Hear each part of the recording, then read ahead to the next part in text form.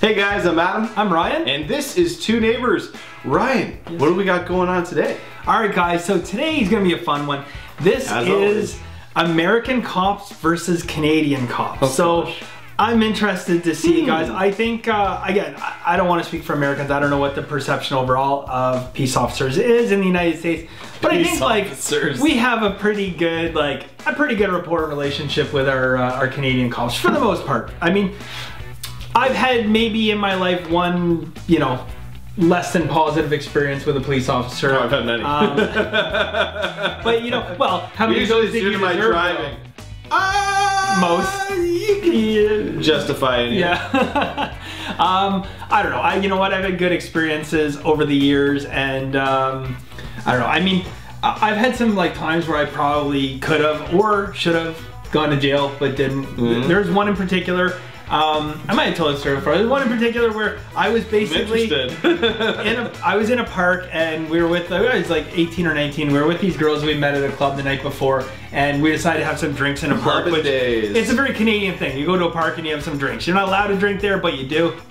And there was like a bunch of other groups all drinking as well. And one of the other groups like ran out of alcohol and they wanted like some of ours. So some guys came over there being pretty aggressive about it, like give us some drinks. We're like, no, like, you know, go away. So anyways, I'm sitting there, I got my beer in my hand, Molson Canadian, having a couple pops, and all of a sudden the beer gets yanked out of my hand. So first instinct is, well, we got a Donnybrook now, right? So I turn around and I just drill the guy. Like, did I punch him? But I shoved him and the guy falls to the ground, the beer goes flying. As he's falling to the Where's ground, the all I see is the police thing thing. I'm like, I just drilled a cop. Like, this is bad. So it's funny, you know what? You don't know how you're gonna react in that situation. Before he was done falling to the ground and, and rolling, I was already on my knees and I put my hands up because I didn't know what else to do. So this guy jumps up, his partner comes running over, I explained the situation. They couldn't have been cooler guys. So I told them what happened. You know, that guy's over here like bugging us for beers. I told them like, I'm shooting the shit now with these cops, right? So the cop comes over afterwards to talk to me. He's like, that guy who's bugging you goes, I just gave him a ticket for drinking in public. He goes, you guys are okay, but like, you know, wrap you're gonna, yeah, wrap it up, get out of here. So it's like, you know, that could have been a real bad situation. Yep. It wasn't. And, uh, you know, I've had good experience with a lot of cops over the years. So I don't know. I haven't had any, I haven't had any run-ins with, uh, with American cops except for one when I was very young. My dad tells a story all the time. We were driving through Wisconsin and we got pulled over by a state trooper mm -hmm. and I was like really young. Um, the cop's talking to my dad, and out of nowhere, I'm like, "You have a gun!" to the cop, right? And the cop like look at me and like just nodded. Yeah. I'm like, "My dad has a gun." Anyways, so the cop takes my dad out of the car. He's like, my dad's like, I have never owned a gun in my entire life. My son has a vivid imagination. Anyways, he, he thought it was funny. He let us go, and, you know. So yeah. That's hilarious. That's a good one. Yeah. I've had a couple run-ins, you know, with uh, speeding and whatnot, but never anything really serious. I do know that, uh, a few of my friends have experienced this when when they head down to like Florida. I can't remember what state it's in, but uh, they. Florida's in Florida. No, no, no, no, no, no, no, no. On their way down to Florida, uh, going through one of the states. Um, I think it's Georgia. They like there's a specific area, but they like nail Canadians. They look for Ontario plates and just like pull them over no matter what, because they're not gonna fight the ticket. I probably would too. Yeah. Well, anyways, that uh, good story, Ryan. You literally pushed over a cop. Yeah, um, and got away with it too. Before we start this, guys, please, if you haven't subscribed to the channel, please subscribe to the channel Two Neighbors. It takes two seconds. And if you uh, don't mind, turn on the little bell for notifications because we post videos every single day and you don't want to miss all the action. Uh, and also please check out OhCanadaSwag.com. Punch in Two Neighbors in the coupon code at checkout and you'll receive 20% off your whole order plus free shipping and pay no tax. Get yourself some sweet Canadian swag a lot of cool designs, and uh, yeah, check it out. All right, so without further ado, guys, now we'll see what this is Now let's about. see what this is all about. Um, American cops versus Canadian cops. The USA has long been called the land of opportunity, but there are many people these days that will tell you the American dream has for a long time been less of a reality. Canada, on the other, is often depicted as an easier place to have an existence. It's a country with far less of a divide between the rich and poor, and you'll still find it on best quality of life lists somewhere in the top 10. At the same time, the USA makes headlines for such things as having worryingly high crime rates for a developed nation, incredibly high incarceration rates, and a healthcare system that might bankrupt its own citizens. We might be being harsh here, and we certainly Might? aren't saying Canada is a utopia. Alright, so you want to be a cop in Pretty the close. USA. You've done your research, meaning you've seen The Wire, watched all episodes of NYPD Blue, and even stayed up late to watch reruns of Columbo and Cagney and Lacey. You are basically ready to hit the streets, right? Well, we should tell you a few things about what you need to do to become a police officer in America. The good news is that you don't have to be a genius to land the job. It's open to most people, so long as you have some brain power and didn't spend your teens doing hits for the Mexican Mafia. You can get a law enforcement degree, and this should land you better jobs, but you can also apply to be a cop after high school. So to get in, you'll need a high school diploma or a GED, which is considered equal to that diploma. After that, you'll be interviewed and have background checks. If you have a minor offense, you may still get in. You may not have to be super fit, but you'll likely have to be relatively fit. Once you get into the academy, you'll have to pass some kind of entrance exam, such as the law enforcement examination. Then you'll start your training. You'll also have to pass a fitness test or the police physical fitness abilities test. These tests can change depending on where you're training, but you'll mostly have to show you can sprint reasonably fast and able to run one and a half miles in anywhere from 16 to 20 minutes. But you'll have to show your strength by doing a fairly tricky obstacle course. And on top of that, you'll have to do around 20 push-ups in one minute and 30 sit-ups in one minute. As we said, this can change depending on the account. And academy. then never do it again. Let's just say you have to be fairly fit to pass, but by no means have to be an exceptional athlete. Training will last around 30 weeks, and even after you've passed, you'll be put on probation for up to 18 months at the department where you'll be working. Over in Canada, you can also start training at age 18, but you cannot hit the streets until you're 19. You'll also need a high school diploma or the equivalent, and during the interview process, you'll have to show good health, both mental and physical. On its website, the RCMP says turning up to the interview looking like you've done nothing but eat donuts and played Grand Theft Auto throughout high school will put you at a distinct disadvantage. You'll also have to pass background checks, and again, a very small infraction in life may not mean you can't get in. Pass the interview, and off you'll go to training school for 26 weeks. Hmm. Yes, again, there will be written tests that should not challenge most who have done okay in high school. As for the fitness test, you'll need to do the Physical Abilities Requirement Evaluation, and that will consist of doing an obstacle course, push-ups and pull-ups, and a weighted carry, all under a time of 5 minutes and 30 seconds or less. And that's at the start of training. At the end, you'll have to be able to do that same test in less than 4 minutes. So now you're in the force, but what's it like? Well, first of all, how much are you being paid? The amount fluctuates across the USA, but PayScale in 2017 said the average was $44,000 a year for the Wow. first 0 to 5 years as a rookie cop. Other sites tell us the starting salary for most cops is closer to 30,000, and it will increase Wow. by the year.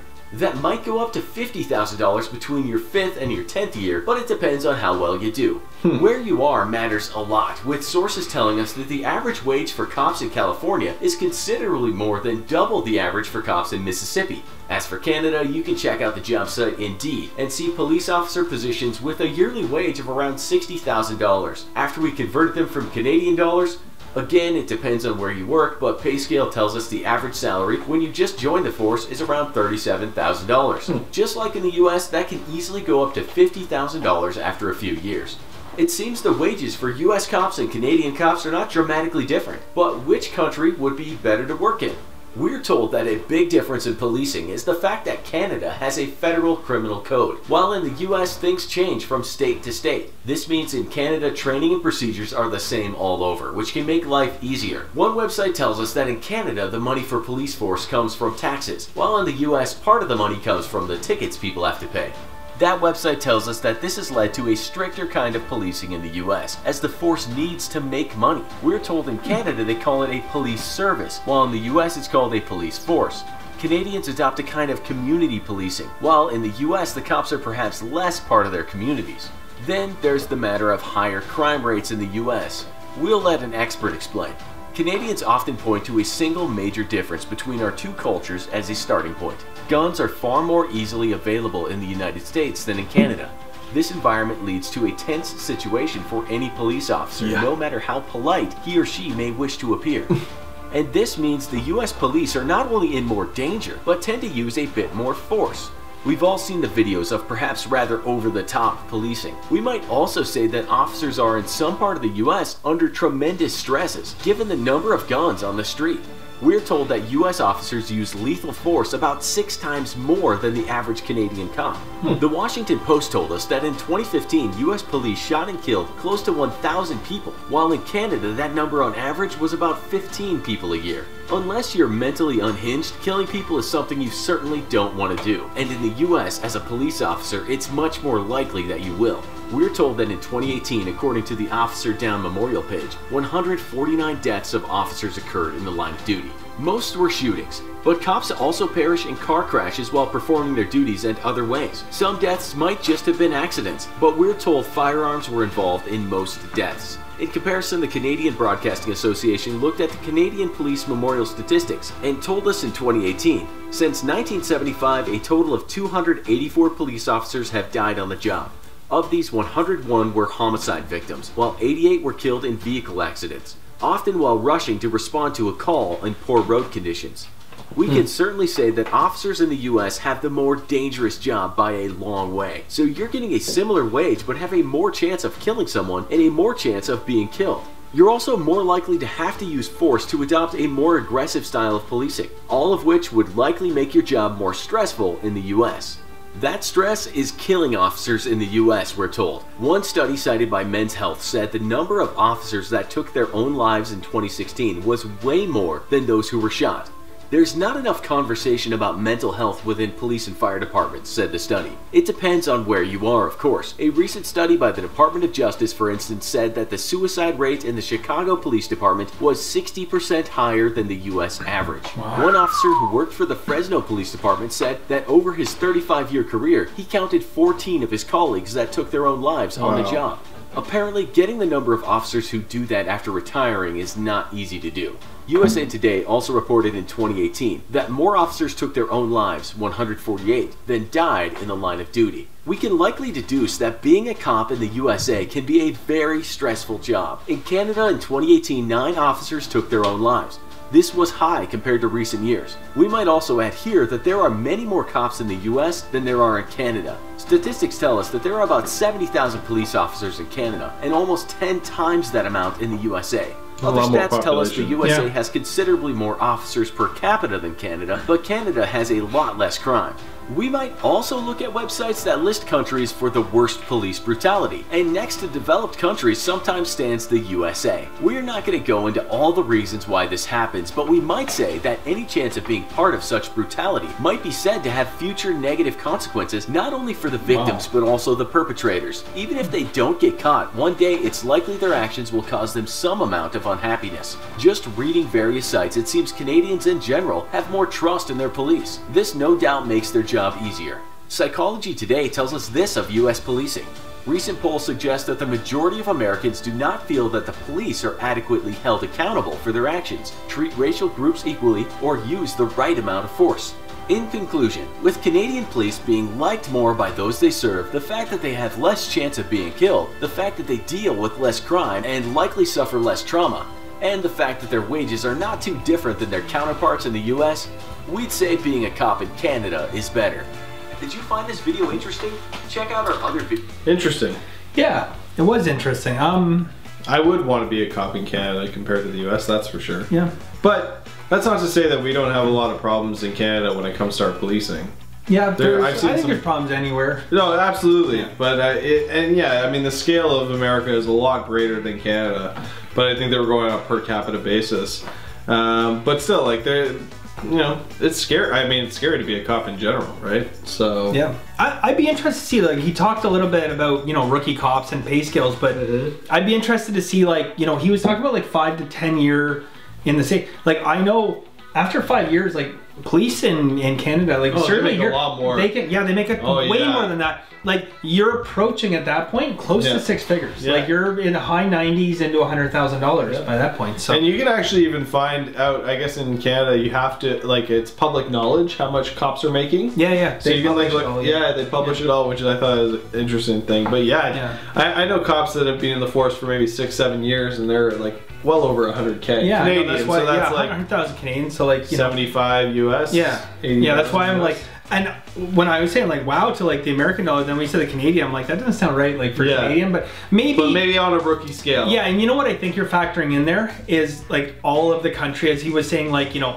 Mississippi gets paid less than California, Yeah. and we're looking at like GTA or Greater Toronto area gets paid more than maybe you know if you were like three hours north or something, you might get paid less. But maybe there's some Canadian police watching, and they'd be kind Please, enough Let us know. let us know down below. You don't have to let us know exactly what you make, but like a ballpark figure. and thank you very much for Uh, your service. Yes, thank you. Absolutely. Um, it sounded pretty low when they said it, but interesting. Definitely, you know, learn some fact. I, you know, I, I have. Uh, as much as you hear like the bad press and all that stuff, like you know, I have an immense amount of respect for police and what they have to deal with on a day-to-day basis. Absolutely. Certainly, you know, I think every child at some point thought, "Hey, you know, maybe I'll be a cop one day." I'm not cut out for a person. Yeah. I could never do it.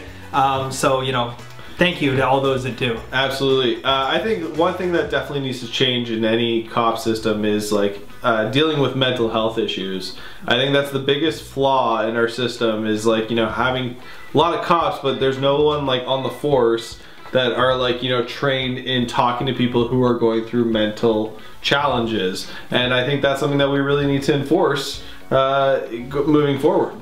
I know? agree completely, and you know, in a lot of cases where people like police are responding to substance abuse issues, there's that underlying mental health cops are concern that- intimidating to those people. You know, Yeah, they threaten sure. their lot. They threaten their. They they view cops as threatening their lives moving forward because they always run into the cops. You know, but if you ran into like you know someone from the government that helps you and encourages you, Yeah. that that you know might segue it. So Well, I saw the most amazing thing in uh, New Jersey. I believe Paterson, New Jersey. Some of you guys might know. I think Paterson, New Jersey.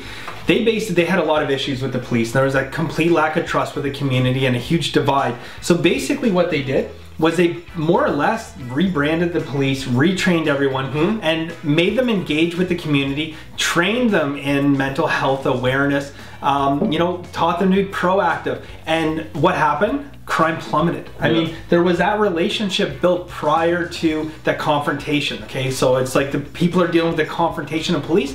Yeah. Now it was like you know they knew the person, so it was like they were able to defuse these situations, and you know as a you know a, model for maybe the entire world. Like I'm pretty sure it's Paterson, New Jersey. Um, you know maybe that's the way we have to look at things because you know that community involvement, which. Um, you know, Canadian police used to have a huge Canadian involvement. They still do it to a certain extent, but not as much. Like, you know, there's a small town just north of here, and like people used to talk about how, like, every single night there was people literally walking the beat, like walking the street. They come down, they pop into businesses. How's everything? Good. They don't do Yeah. that anymore. yep, You yeah, know, no, so- absolutely a little bit more personal. Yeah. Um, what was I gonna say? They um, nah, it wasn't that clearly. Um, but yeah, guys, we do appreciate anyone who's on the police force or fire anything for the emergency service. We do appreciate it, uh, and especially the first responders in the hospitals. So thank you very much for all your service, uh, guys. If you haven't already, please subscribe to the channel, Two Neighbors, and if you have a request, please put it down below. Hashtag my request with the URL link. And don't forget to check out OhCanadaSwag.com, punch in two neighbors at the checkout, and you'll receive 20% off plus free shipping and pay no tax. Ryan, Yeah. what should these lovely people do next? Like, share, and subscribe, guys. Thank you for sticking around. We know this is a long one, full of stories, full of all kinds of stuff, but we really appreciate you guys. Thank you so much. That's it for our show. We'll see you next time. Later, guys.